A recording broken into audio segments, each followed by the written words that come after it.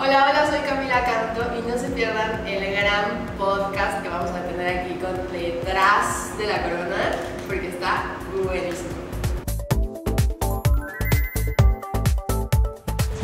Hola chicos, ¿cómo están? Uy, no, no me la creo. Estoy aquí sentado en la sala de mi casa.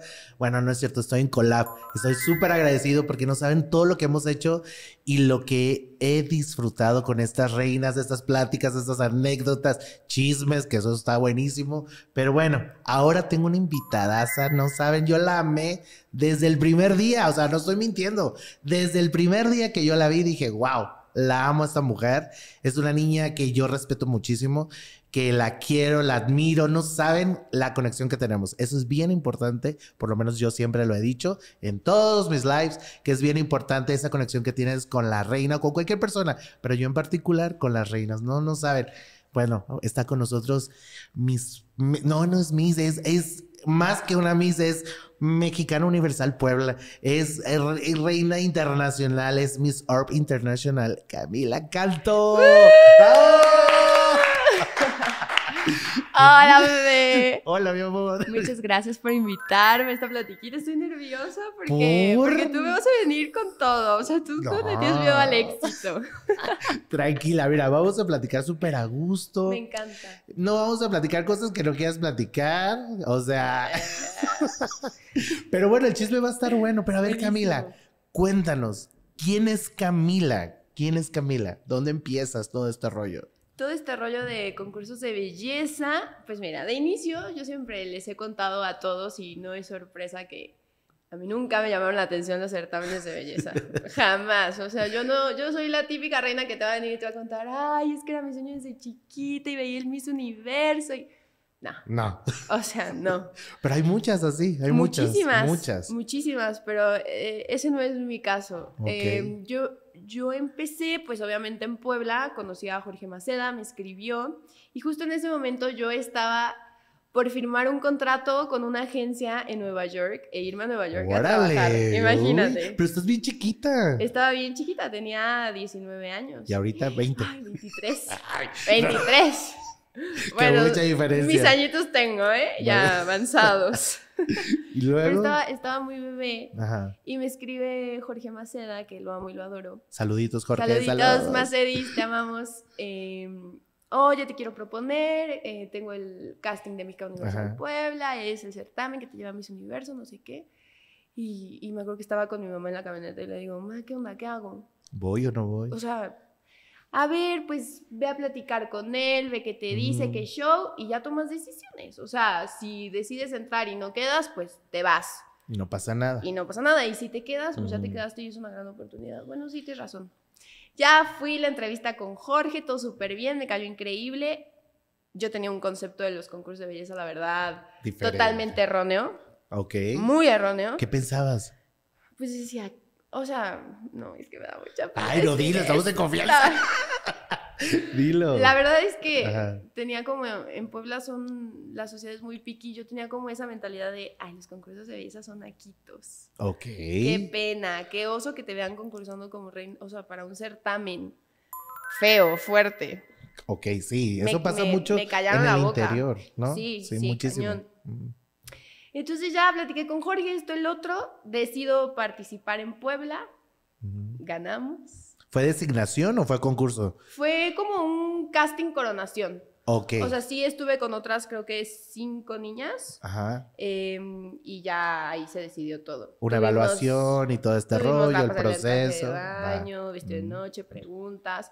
Preguntas en inglés que ahí Ahí tu comadre se quedó en blanco. ¿No sabías de los inglés? Nervios. No, claro que sabía ah, inglés, pero en el momento, en la chorcha, el nervio tenía a Lupita Jones y a Sofía Aragón en ese momento enfrente calificándome. No, bueno.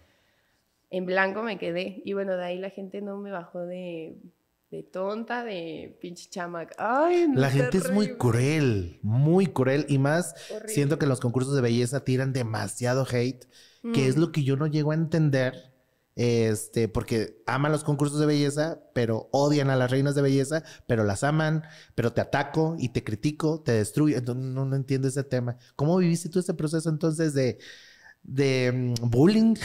Durísimo, durísimo. Te juro que yo me sentí de mi generación de las reinas más odiadas. O sea, de verdad. Me acuerdo que el día que gané, aparte todo estuvo en contra mía. O sea, desde las fotos de, de la coronación, parecía una gran señora, me veía terrible. No, no, no, no, no. O sea. Uy, yo tengo una anécdota de una foto tuya. Uy, pero uy, la-. Entonces, ah, y estaba ahí Regina Peredo. Ajá. y su mamá cuando salimos ya de la coronación y todo. Y me dice la mamá, Camila y Regina, no te metas a redes. Y yo, ¿Por qué? ¿Qué pasó? ¿pero por qué? No te metas a redes porque la gente nunca va a estar contenta y te puedes encontrar con comentarios muy fuertes. ¿Y si eran muy fuertes los comentarios? Pues, o sea, sí algo, no me bajaban de esta niñita pendejita de 19 años ni estudios tiene. Em, la reina del Photoshop, porque te digo que tuve, tuve todo en mi contra ese día y de verdad me veo muy mal en las fotos de mi coronación. Eh, no va a poder llevar el Photoshop al nacional, no sé qué, estás bien fea, termina de estudiar, ¿qué haces aquí? No, o sea, durísimo. Y a ver, una niña de 19 años, Exacto. ¿Cómo lo sobrellevaste? yo me costó, o sea, yo hubo un momento en el que le dije a mis papás, por salud mental, yo esto ya no, o sea, ¿qué, qué, ¿Qué no, tranquila, no sé qué. La verdad es que la Organización de Mexicano Universal Puebla me apoyó muchísimo en todo, en todo lo que lleva mi preparación y una de las cosas que llevaba era desarrollo personal, como este coaching. Ok. Y eso me ayudó muchísimo a entender muchas cosas que pues no están en mis manos. En Claro. plan haters, porque la verdad es que sí tuve bastantes haters. Y ya después están amando cuando les traes una corona, ¿no? Pero bueno, entonces sí fue, sí fue un proceso un poco complicado, sí tuve mis altas y mis bajas, sí hubo un momento en el que hablando con mi coach de desarrollo personal dije, la neta es que no, o sea, no estoy para esto, no me sirve, no me ayuda, me está dando para abajo, yo que voy a entregar mi coronita y pues sí. Qué fuerte. ¿Y tu familia te apoyó? Mi, mi familia me apoyó siempre, la verdad es que mi familia siempre ha sido un pilar muy grande para mí, mis papás, mis hermanos, sobre todo. Y ahí estuvieron y vamos y venga y tú puedes y creyeron en mí. Y bueno, ya, o sea, con el paso del tiempo agarramos fuerza y entendimos que... Así. Respiraste y dijiste, vamos adelante. Exacto, pues no somos monedita de oro para gustarle a todo mundo, es complicado, pero hay que aprender también a sobrellevar eso. Decides ser al final una figura pública, pequeña, mediana, grande, Sí. te vas a, te va- te vas a llevar comentarios desagradables. Digo, qué bonita esa anécdota contigo y ese proceso que viviste, porque muchas niñas a lo mejor no corren con, el- no sé, con la familia, que el apoyo, o a lo mejor se lo quieren guardar ellas nada más, entonces viven ese proceso solitas y al final muchas han renunciado o muchas se quedan en el camino, y bla, bla, bla. Entonces, qué padre que tú hayas pasado esto. Pero ¿cómo lo viviste después en Mexicano Universal? Porque ya te volviste reina de, de Puebla y luego te fuiste al Nacional a competir con 32 niñas más. Uf, Ay, sí estuvo bueno porque yo estuve en la concentración. estuviste en la En concentración. concentración. Increíble. Muy buena la concentración. Fue Muy, durísimo. muy. Muy buena. Increíble. Fue durísimo. O sea, creo que fueron tres semanas, ¿no? Fueron tres semanas encerrados porque Encerrados. literalmente estábamos encerrados en el hotel, estábamos en En pandemia. pandemia. Entonces estaba prohibido que las niñas salieran. Pero bueno, las niñas, me acuerdo, tú eras de las niñas que pedían servicio de paquetería para poder comer en la habitación. Claro que sí era. Ay, no, es que eso estuvo buenísimo. Les cancelaron y no, no, Pero a mí no. nunca me cacharon, fíjate. Ay, mira, Lupita, mira. Reina madre, lo siento. Ay, no. Fue Pero bueno, increíble, me encanta. A ver, creo que mi generación, porque yo también iba con una idea al nacional de ¿qué es esto? ¿Qué va a Tercera ser? Guerra Mundial, o sea, Claro. 31 viejas encerradas tres semanas. ¿Qué, o sea, ¿qué va a ser esto? O sea, yo, yo fui un tiempo de mi vida a, a colegio de puras mujeres y era re complicado. Entonces, como que dije, competencia. 31 niñas Rivalidad. rivalidad, totalmente, o sea, personalidades distintas, todo. Entonces yo sí iba como nerviosita. ¿Qué va a Aparte yo era la más chiquita de la generación. Yo era la bebé de la sí, eras generación. muy tierna, muy tierna. Ah, tampoco, pero era la bebé de la generación. No, sí eras la bebé, sí, Sí, totalmente. Entonces yo estaba como nerviosa, Mm. miedosa y, cre- y, y todo igual me dejaron con la boca cañada porque siento que mi generación es una generación muy unida. Ajá. Somos muy, muy, muy unidas. O sea, nos llevamos Siguen en contacto. nos seguimos en contacto. A ver, no todas, pero tú sabes, el grupito grande que estamos acá en Ciudad de México, nos vemos, salimos. Se hizo una relación muy padre. Yo te puedo decir que saqué hermanas de Literal. O hermanas. sea, cuando yo he escuchado muchísimo esa frase de las reinas que dicen, es que es, es una hermandad, hicimos este, amistad. Créanme, sí lo han hecho. Claro. Yo he visto muchas reinas que siguen de amistad de años. Cañón. Entonces, qué padre que hayas vivido esa experiencia. Pero a ver, cuéntanos también el- cómo lo viviste tú en el sentido de estar encerrada con una roomie, te llevaste bien con tu roomie. ¿Quién era tu roomie? Increíble, Ángeles.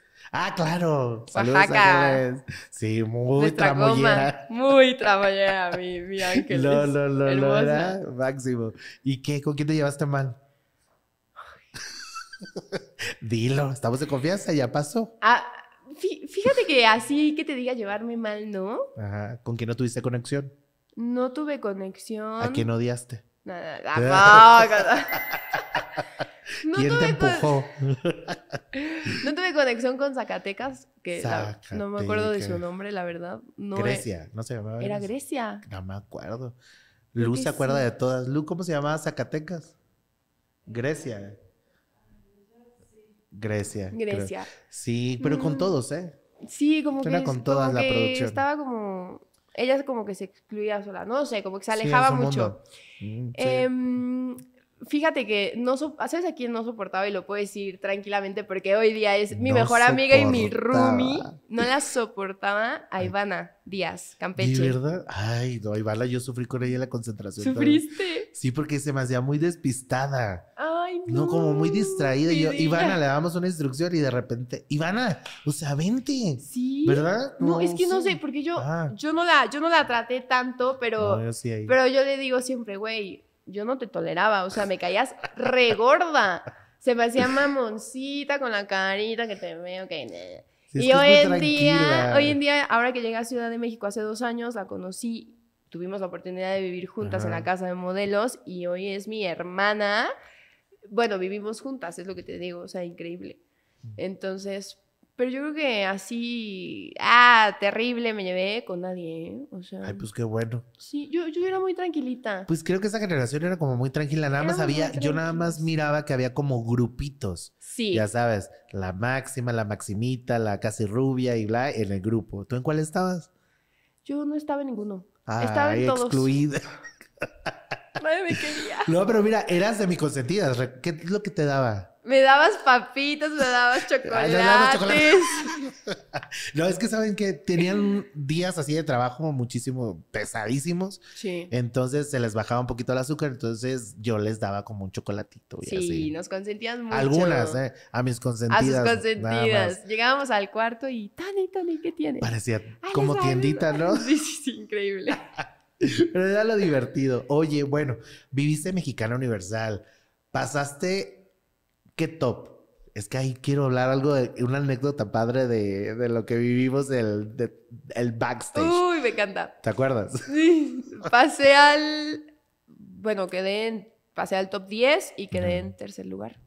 Ay. Ay, yo llegué lejos, compa. no, no, sí, no todas, ¿eh? No todas, no cualquiera. No, no cualquiera. Oye, pero bueno, ¿te acuerdas en backstage? ¿Qué te dije? ¿Qué me dijiste? Tú dímelo. Bueno, de repente veo a Camila, porque pues obviamente las estábamos cambiando para la etapa de traje de baño, que nada más era el top 15, creo, el- Top 15. en el traje de baño. Entonces, Camila sale de repente con un pelo. No, no, no, no. No, bebé, fue para vestido de noche. ah, bueno, pues peor. Para el vestido 10, de noche, el Peor. top. No, parecía Belardo, una cosa que le No, habían no, no, hecho. no. Y yo, Camila, que te quiten ese pelo, pero ¿qué hago, bebé? O sea, ya me lo hicieron. No, no, te habían hecho un pelo. Me hicieron, me hicieron, como se diría, la gatada. Siento. No sé. La qué pasé pasó muy ahí. mal, la pasé muy mal porque yo me sentía súper insegura en ese momento. Yo decía, parezco, bueno, no me bajaban de la bruja del 71.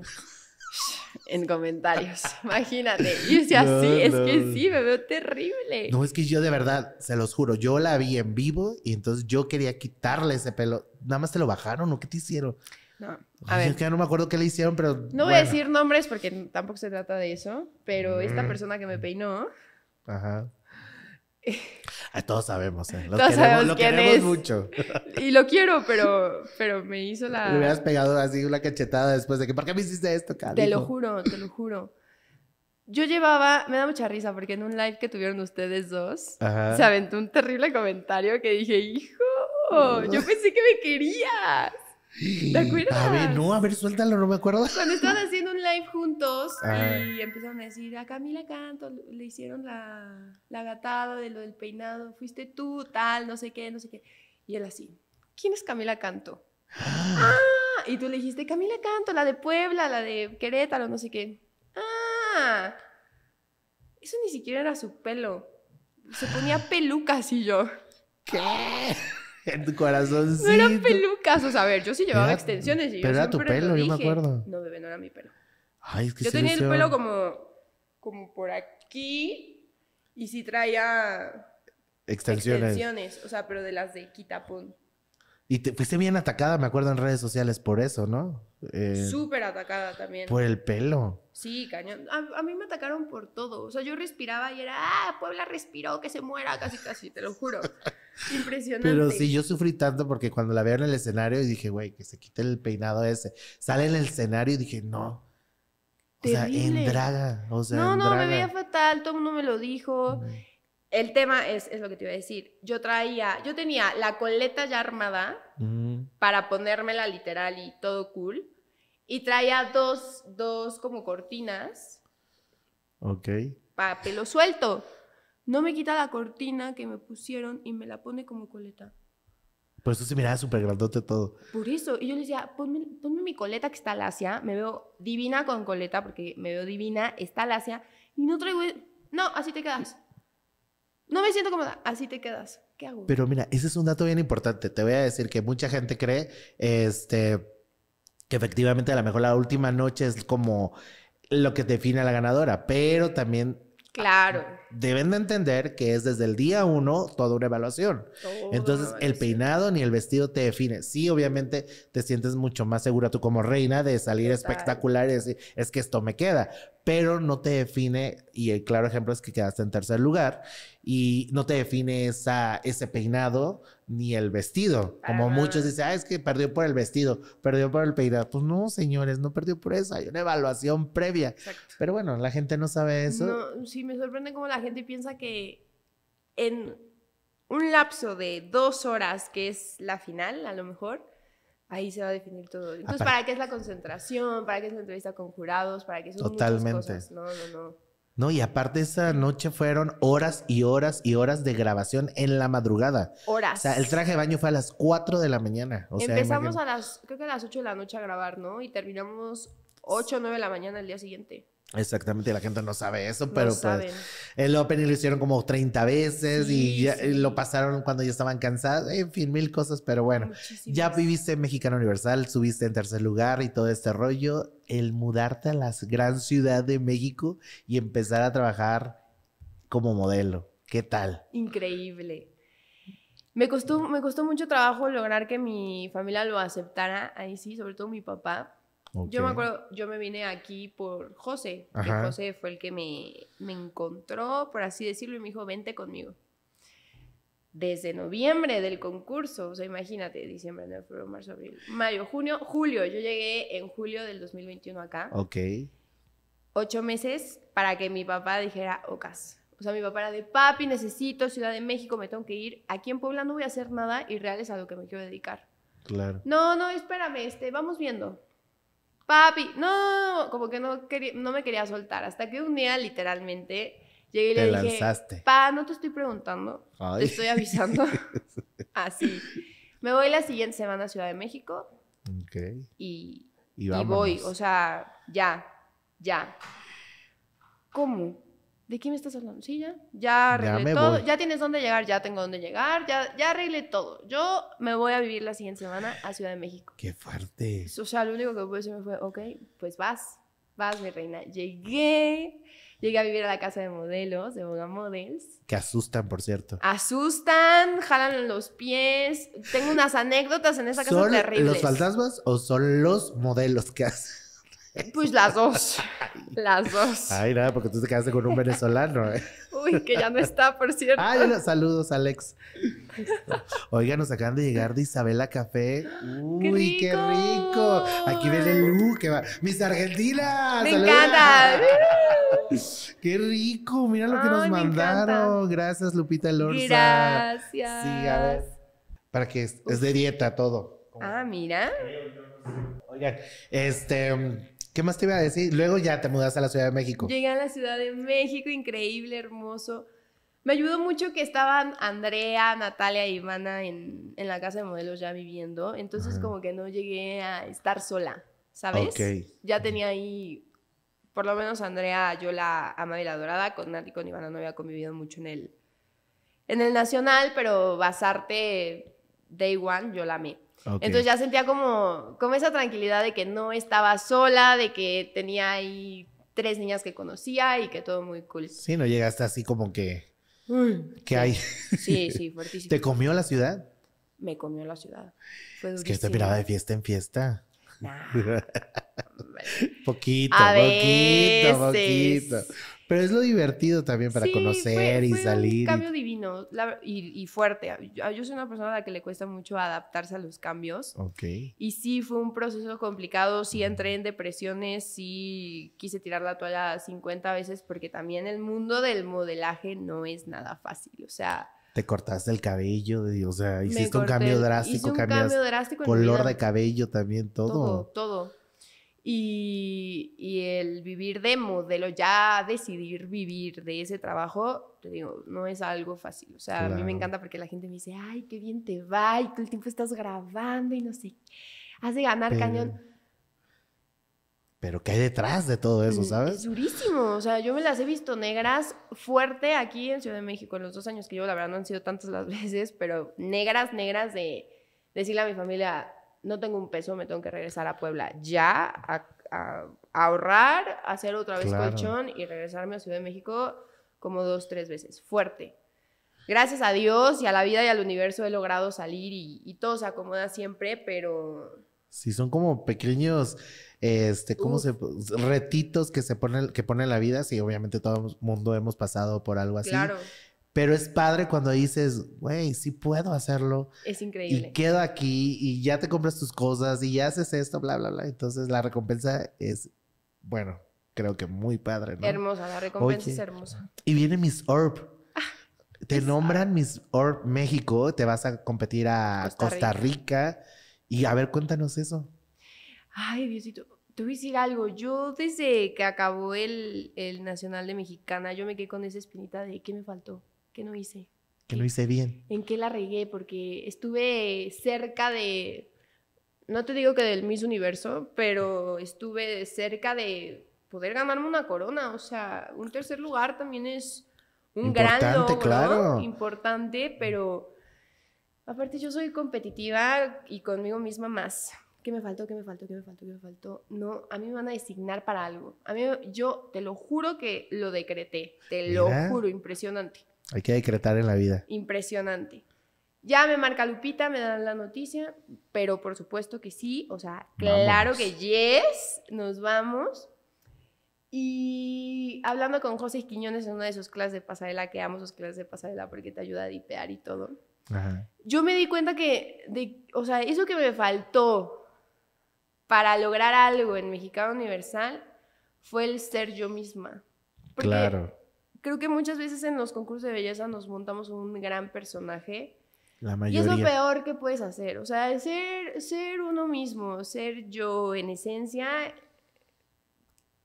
por lo menos en Costa Rica, en mi surf fue mi boleto para ganar, literalmente. Fuiste tú. Fui yo, al 100%. Lo disfrutaste. Es que siempre le digo a las niñas eso. Sean ustedes mismas, disfruten, no se crean un personaje, porque No. al final su, su misma personalidad va a salir a flote. Entonces, pues no, no tiene caso que se crean un personaje de villano o la más buena. O sea, no, no funciona. No funciona. No funciona. Literal no Y funciona. aquí el claro ejemplo. Sí, sí, tal cual. O sea, yo estaba como muy, muy en la idea de que no tengo que ser perfecta, no puedo hacer esto, no puedo hacer el otro. ¿Por? O sea, antes de ser reinas de belleza también somos humanos, somos Claro. personas. Entonces ya con el, con el tiempo, con los años, ay, yo te digo como si tuviera 30, güey. Pero sí, con el tiempo y con las cosas, experiencias, sí, exacto, con el crecimiento fue como, no, tengo que ser yo en esencia y con eso me gano al mundo entero, porque soy una persona increíble y no tengo que cambiar por agradar o por ganar o Sí. lo que sea. Entonces, esa, esa fue literalmente mi, mi estrategia, Estrategia. por así decirlo, para el internacional. Fue una experiencia increíble. Te llevaste bien con todas. Te No. amaron. Yo no Ah, hice, sí, yo me no hice contaste. amigas, bebé. Uy, era el A mí no me internacional. querían, a mí no me querían. Era envidia. ¿No? Bueno, me, Ok, roba- ¿cómo lo me robaron... Puta, yo te tengo que A contar ver, a muchas ver, a ver. cosas. Cuéntalo, suéltalo. No me querían, claramente Ok. no me querían. Con, me llevé bien con niñas muy específicas, pero tampoco hermanas, como las hice en Mexicana. Ajá. Es una comparación muy grande que yo hago. Pero también porque yo iba enfocada a algo. O sea, yo ya no iba con ganas de la chorcha, el jaja, jiji. No, o sea, yo iba focus En a mi corona. meta. O sea, ya, ya tengo esta gran oportunidad, ya me dio esta experiencia, oportunidad y todo Lupita y la organización de Mexicana, voy con todo. Claro. Entonces iba a focus a eso y la verdad es que yo no socializaba mucho. O sea, yo estaba en mi rollo, concentrada, sí era de hola, buenos días, educada. Lo como normal, Siempre, ajá. lo normal, pero no te digo de que ahí sí, hermanas, no, para nada. Y la verdad es que era una contrincante fuerte, o sea, se sabía que Ibas con preparación, ibas con todo Sí, el o modelaje sea- y ahí estabas fogueada. Exacto. Entonces, eso es bien importante, niñas, bien importante. Sí. Entonces, ¿quién te hizo la vida imposible? No, no te puedo decir que me hayan hecho la vida imposible porque la verdad es que nunca me Ok. dejé. Pero sea, ¿qué te hicieron? Si te hicieron pues algo. eran groseritas, que la carita, que la nefasteada, que buenos días, que me volteaban. O sea, fuerte. ¿Te Pero como escondieron algo? dices, ¿Te escondieron o Me no? robaron. Ah, te robaron. Yo, Me quería, yo utilicé la palabra robaron. te escondieron, pero bueno, tú. Me robaron el día de la final ya que gané coronada porque nosotras nos arreglamos. Ajá. Entonces yo tenía mi gran kit de make-up en backstage. Y ya llego a hacer mi maleta, empacar mis cosas, no sé qué. ¿Dónde quedó mi maquillaje? O sea, la caja toda. Todo. Todo, Tony. Para que vean que sí pasan cosas de Sí los concursos de belleza. Durísimo, durísimo, durísimo. Y yo así me subo al camión, yo coronada, no sé ¿Qué te importó? ¿Ya ganaste? Y les digo a las niñas, oigan, una bolsa así de maquillaje, traigo todas mis cosas, neta, no inventen. O sea, no te pelaban. No soportaron. Literal, no, soportaron. soportaron Bueno, cuando la yo terminé corona. agarrada de las manos con Nicaragua, que Nicaragua era mi roomie, que ella divina reina en toda la Ana, extensión de sería la el colmo que no le hablaras a tu roomie. Sí, no, no, tampoco. Me la llevé muy bien con ella, súper linda. Este, estamos agarradas de, la- de las manos y pues todas las niñas estaban detrás de cámaras y Ajá. todas gritando, ¡Nicaragua! ¡Qué Nicaragua". feas! Yo no me acuerdo de eso, yo estaba... Es Esperando que dijeran impresionante cómo se te apaga el mundo entero cuando estás Ajá. agarrada de las manos. Pero mi mamá sí me lo contó y, y todas, y todas pinches viejas gritaban, ¡Nicaragua! Tu mamá sacando a lo mexicano ahí. Sí, sí, sí, mi mamá, México, México. Dice mi mamá, qué horrible. Yo ni escuché, pero no, yo no fui querida en esa concentración. Pero mira, ganaste, Claro. eh, tuviste, esa- eh, tuviste la experiencia, que eso es bien importante y todo este show, y este, y pues nada, trajiste la corona a México, eso es lo más importante, Sí, que creciste tú, obviamente, como reina de belleza, y ahorita, ¿qué piensas hacer? ¿Sigues en el modelaje? ¿Qué más hay para Camila? Sigo en el modelaje, me encanta. eh, desde que llegué a Ciudad de México descubrí todo el mundo actoral y estoy enamorada. Para mí es un arte increíble, entonces también ya estoy preparándome para eso, para que me vean ahí en Netflix. ¡Ay! Esas grandes plataformas digitales, espérenlo, espérenlo porque ahí vamos a estar. Uy, fírmame antes porque al rato que estás famosa no vas a querer ni hablar. Ay, bebé, claro que no, yo te amo. No, fíjate que pasa eso, ¿eh? De repente hay reinas que se les olvida quiénes les han apoyado y se vuelven muy Mm. top, muy famosas o muy esto y ya no son como muy agradecidas. No todas. Pero hay Pero una que hay. otra, ajá, que hay. Qué feo, porque creo que lo más bonito es Sí. saber y apreciar y valorar pues toda la gente que estuvo en ese camino de crecimiento. O sea, Oye, Cami, ya para terminar contigo, porque me la pasé increíble hablando y contando anécdotas y todo lo que hiciste, este, ¿qué les aconsejas a las niñas que te admiran? Porque al final de todo esto, pues siempre va a haber gente que Mm. nos va a estar queriendo meter el pie o un poquito de Obvio. hate o algo por el estilo. Pero bueno, ya hemos aprendido que lo hacemos a un lado y ya no nos interesa. Pero y aparte es rico, ¿no? ¿No te pasa que... sí, que- ahora ya lo disfruto. Yo, ay, que existen los sí, hates. sí, sí. Este, pero esas niñas que te admiran, que, que de alguna manera te ven como inspiración y dicen, mira, ella concursó, fue a un internacional, ganó y está de modelo, está cumpliendo sus sueños. ¿Qué, qué les dirías a esas niñas adolescentes que te eh, están viendo y te están escuchando? Bueno, yo les diría que crean en ellas mismas. Creo que eso, eso es lo más importante, que se sean fieles en cuanto a lo que quieren. Creo que es el regalo más bonito que, poder, que podemos darnos como personas, sernos fieles a nuestros sueños, a nuestros ideales, a todo. Decirles que realmente todo es posible, porque sí muchas veces nos pueden ver como personas inalcanzables. No lo somos. Yo estuve en su lugar. Muchas, todas las reinas que han sido reinas hemos estado en su lugar. Y todo es posible a base de esfuerzo, amor, dedicación. Y van, o sea, nunca se rindan, luchen por sus sueños, vivan la vida al máximo, porque de verdad que vida solo hay una. Oportunidades no se presentan dos veces en la vida y, y confíen en ustedes. Creo, creo que eso es lo más importante, confiar en uno mismo. Claro. Y siempre, siempre, siempre, siempre, siempre, que eso siempre lo digo, sean ustedes, que es otra de las cosas más importantes. Totalmente. Cuando seas tú en esencia, vas a ver que eres capaz de lograr todo lo que te propongas, comerte el mundo entero si así lo quieres. ¡Bravo! ¡Qué bonito mensaje! Le vamos a dar el premio y la corona. Oye, Cami, pues quiero agradecerte por haber venido, por estar conmigo, por confiar, por estar contando tus cosas personales y todo este Mm. rollo. Me la pasé muy a gusto. De verdad te gracias agradezco. a ti por todo, por tomarme en cuenta. Siempre sabes que te amo, Yo también que eres te una amo. persona que justamente estuvo durante todo mi camino, todo mi proceso y lo valoro muchísimo y te voy a querer y amar siempre. Yo también, muchas gracias. Gracias, chicos. Los vemos en la próxima. Gracias por todo. Bye. ¿Ya? Ah. ¡Eh! ¡Bravo! Si fueran los 30.